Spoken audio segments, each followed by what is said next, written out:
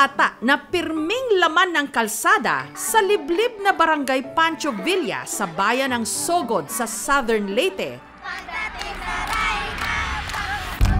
May isa raw na mumukod tangi.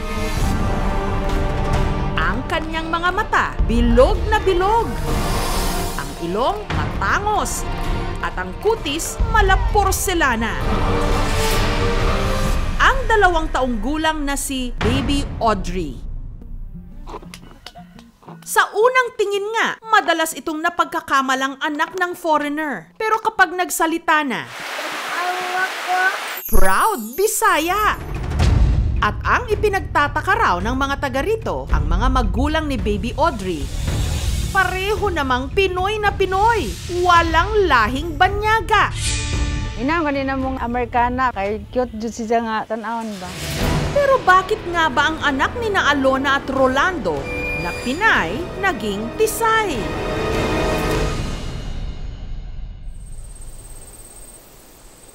Dahil solong anak, apple of the eye ng mag-asawa ang kanilang baby Audrey. Mahilig maglaro sa labas, sa mga ibang bata. Malambing naman po siya sa amin. Ijang gusto kanang among atensyon naranid sa kanunay. Sanggol pa lang daw, napansin na nilang parang malayo sa kanila ang itsura nito. Hindi po namin kamukha yung bata. Mukha po siyang half American. Yung ilong po mas matangos po sa amin. Yung kutis niya po maputi. Pag naaarawan po, namumula. Baylo-baylo mag isang color sa isang buhok. Depende sa panahon. Usahay mag ash gray, usahay brown. Kaya ang kanila raw pamilya, pinulutan tuloy ng mga marites. Mura magdidyo nila anak baga jud. Gwapa ha, mong bata ah. Yun nga sa yung iniisip namin bakit di ka mukhang anak talaga niyan. Ngayon sila nga, Uy, amura makag-Amerikana, day. giyayahan na ninyo o injo ba ng bata? Siguro may foreigner din ng anak, nagapalitan sila, kaya ganyan. Liuli na, mo isang gingo na umam.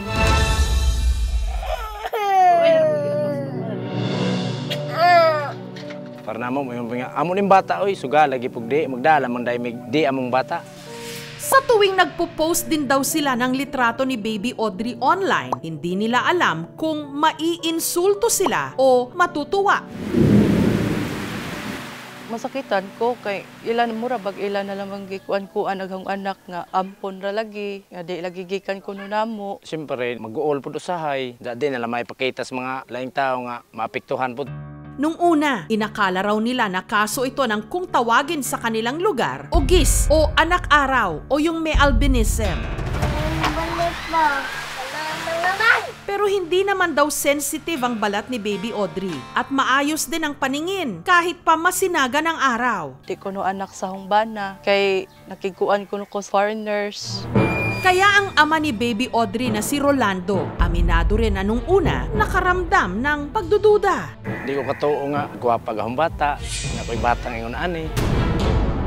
May time nga gusto ko mangutana sa akong asawa, anda bata ba pugahanin ako.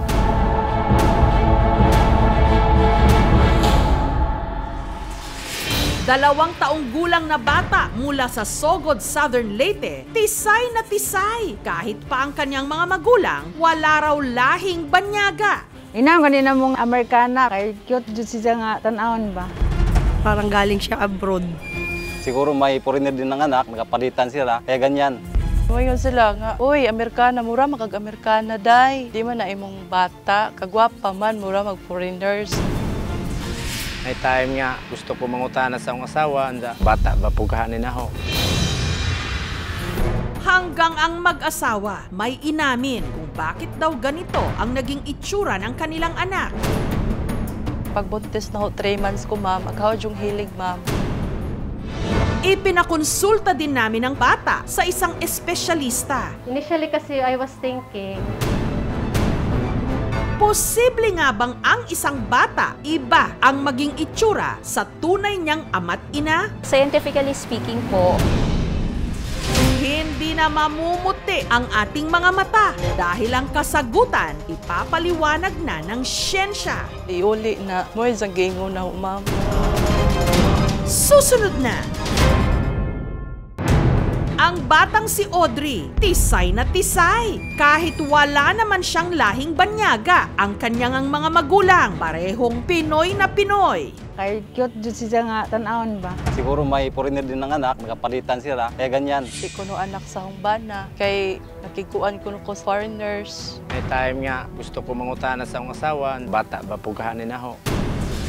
Pero si Alona, sigurado raw na si Rolando ang tatay ni baby Audrey. Sa anim na taon daw nilang magkarelasyon, tapat daw siya rito. Wala man pugo ka kita o kabantay nga na foreigner nga mantos ila. Di man sila sweeto nga sa mong kaagi sa humbana nga kamera mga gadyong duha. Loyal ka dyan ang asawa kay manang dako kog pagsalig sa asawa. Mong loyal pugo ka dyan ni Diya.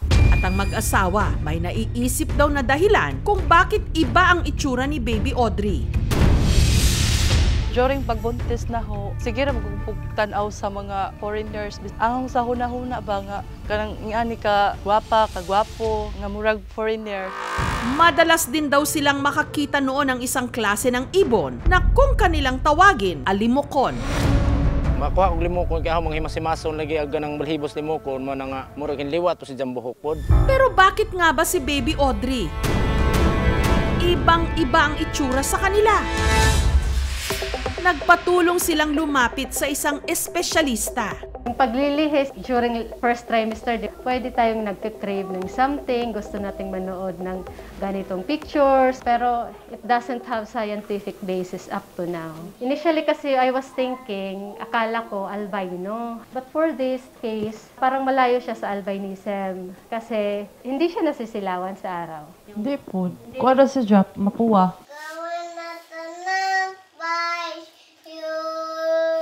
So yung katangiang physical po ng tao ay mas madali nating maintindihan tulad po sa konsepto ng Mendelian type of inheritance. So makikita po natin sa Punnett square na ito na hindi po necessarily na ang isang katangian ng magulang ay maging kapareho ng kanyang anak. Dahil po yon sa iba't ibang kombinasyon ng ating gene. Ito po ay maaaring kanalabasan ng multiple genes or interaction ng maraming genes sa ating katawan po. Isang polygenetic trait. So in the long run po, yes, may possibility na maging mas kahawig ni baby yung kanyang mga magulang Di dyan na to, di ta maminaw sa mga tao, istorya sa mga tao.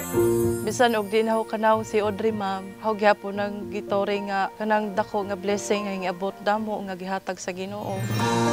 Sa tingin man ng iba na hindi sila magkakamukha, ang mahalaga, pare-pareho naman ang itinitibok ng kanilang mga puso.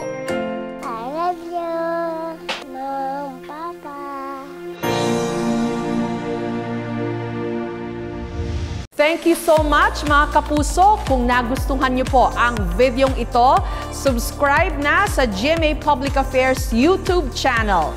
Don't forget to hit the bell button for our latest updates.